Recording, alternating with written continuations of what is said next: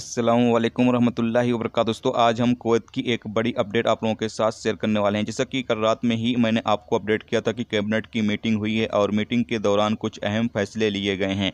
जिसमें रात में मैंने आपको अपडेट किया था कि कोवैत में कर्फ्यू जो है, वो खारिज कर दिया गया है कैबिनेट की तरफ़ से कि कोवैत में अभी कर्फ्यू जो है, वो किसी तरीके से नहीं लगाया जाएगा। ना ही टोटल कर्फ्यू लगाया जाएगा और ना ही जिन इलाकों में कोरोना वायरस के केस ज़्यादा रिकॉर्ड पर आ रहे हैं, उन इलाकों में कर्फ्यू लगाया जाएगा। यानी कि कर्फ्यू जो है, वो खारिज कर दिया गया है।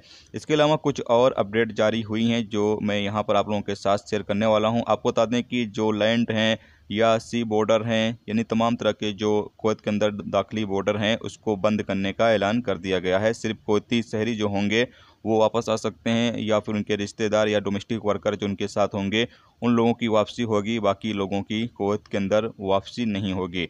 इसके साथ ये भी कहा गया है कि कोवैत के अंदर जो रेस्टोरेंट, कैफ़े वगैरह हैं, वहाँ पर लोगों को खाने पीने की पाबंदी लगा दी गई है। वहाँ पर लोग खा पी नहीं सकते हैं। वहाँ से खाना वगैरह जो है वो लेकर जाकर अपने रूम पर खा पी सकते हैं। वहाँ पर अब बैठने की पाबंदी लगा दी गई, यानी वहाँ पर रोक रुक नहीं सकते हैं, आप खा पी नहीं सकते हैं, जबकि जो कस्टमर आएँगे, उनके बीच भी समाजी दूरी के वसूल जो हैं, वो फॉलो करना होगा।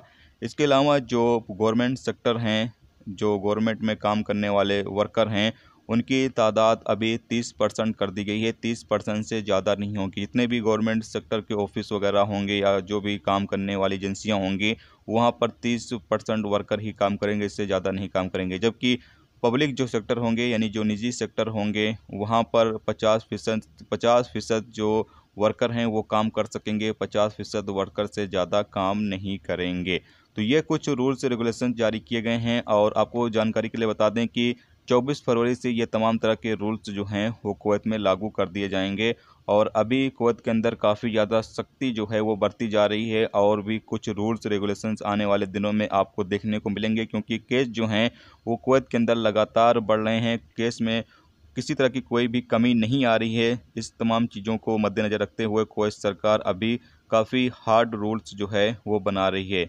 इसके अलावा आपको बता दें कि अगर आप मुँह पर मास्क वगैरह का इस्तेमाल नहीं करते हैं, तब भी अब आप लोगों के खिलाफ़ कार्रवाई जो है वो ज़बरदस्त की जाएगी, जो लोग भी मुँह पर मास्क का इस्तेमाल नहीं करेंगे या समाजी दूरी के वसूल जो है उसको फॉलो नहीं करेंगे।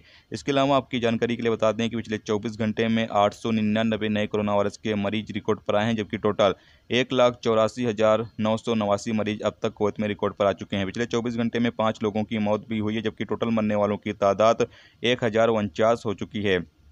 पिछले 24 घंटे में 955 मरीज़ ठीक हुए हैं, यानी अल्हम्दुलिल्लाह जो रिकवरी है वो काफ़ी अच्छी हुई है, जबकि टोटल एक लाख चौह, एक लाख तिहत्तर हज़ार एक सौ बयासी मरीज़ अब तक कोवत में ठीक हो चुके हैं।